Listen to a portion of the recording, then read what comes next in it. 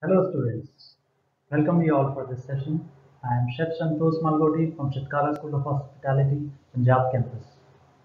And in today's session, we are going to discuss about larder. By the end of the session, you will be able to define what is larder.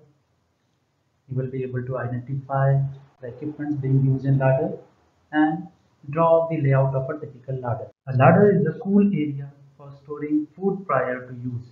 Originally, it was where raw meat was larded, covered in fat to be preserved. During the Middle Ages, food was purchased in bulk, therefore, storage rooms were required for different types of food. The larder was originally a cold room or cellar for storing meats, especially meats put down in large barrels of lard, hence the name came into existence, larder. It was a common practice to partially cook meat and sausages and then cover them with rendered lard until needed. Apart from the storage of the meat, the larder was also used for the storage of other perishable items like cheese, vegetables, and even wine. Our ancestors mastered the art of preserving food by salting, curing, and drying it. In hotel industry, larder kitchen refers to a separate department that is associated with the preparation of cold foods. Larder is also called as Garde Manger or cold kitchen. The literal meaning of Garde Manger is keeping cold for eating later. This department prepares various items such as salads or starters, commonly known as hors d'oeuvres in French. The larder kitchen also prepares cold meat such as sausages, forcemeats, pates, and terrines that we will discuss later in detail in Charcuterie chapter. Due to wide variety of tasks performed in cold kitchen, various kinds of tools and equipments are used in larder. These could be categorized in following manner. Large equipments, knives and shears, utility tools, and refrigerators. Large equipments are basically heavy-duty equipments which are specially designed to perform high-volume tasks on regular basis in a kitchen. These equipments mainly help to execute the task efficiently and effectively with appropriate safety. Some of the examples of large equipments are mentioned in this slide like buffalo chopper, meat mincer, bone saw machine, gravity slicer, vegetable processor, dough mixer, vacuum packing machine and sandwich counters. These are the equipments which one will find in a larder of a hotel.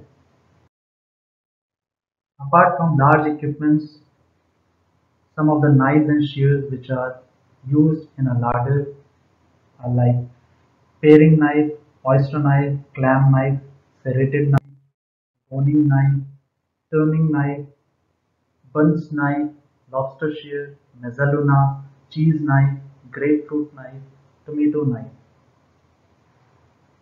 As larder department deals with various jobs, thus specific tools and equipment, even knives are required to perform specific tasks. That is the reason various varieties of knives are being used in larder kitchen. Utility equipments are a range of tools which are used in larder kitchen for various tasks. They not only do the job efficiently but also help to get a consistent product. For example, zester and grater, egg slicer, can opener, and other slicers. Apart from all the discussed equipments, a refrigerator is again a very important equipment which are used in a larder kitchen. As the larder kitchen deals with the storage of various perishable items, thus it needs to be well equipped with refrigerator. Generally, following refrigerator will be seen in a larder kitchen. Under workbench, refrigerator, deep freezer, blast chiller, walk-in Under counter refrigerator is same like regular refrigerator. It keeps its content at a constant and cool temperature. The under workbench refrigerator is compact and fits underneath the work surface. Deep freezer. A deep freezer is an electronic refrigerator used for preserving food, fruits, vegetables for long periods of time. Blast chiller. A blast chiller is a more specialized piece of equipment created to quickly bring down the temperature of food that has been prepared in bulk to be served later. Walk-ins refrigerators are very large, insulated, enclosed spaces used to store perishable goods. The larder is typically an area used for preparing, processing, and storing cold perishable food, both raw as well as cooked state. It is important to keep a workflow in mind while planning the larder kitchen. Various jobs would be performed here at the same time, so it is important to keep raw food separate from processed food to avoid cross-contamination. The diagram shows the most traditional layout of the larder of a five-star hotel which caters to banquets as well as a la carte operations of restaurants. All the sections in larder kitchen has been separated from others and each section will have a separate storage space, pickup counter, table for mise en place and hand wash sink.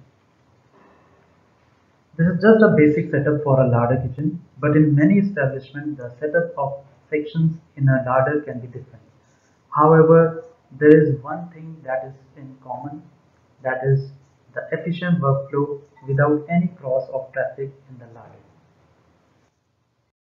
By this, we come to an end of the session and in the upcoming session, we will discuss about one of the very important aspect of larder which is called as larder control which will help you to run a larder operation efficiently, effectively and economically.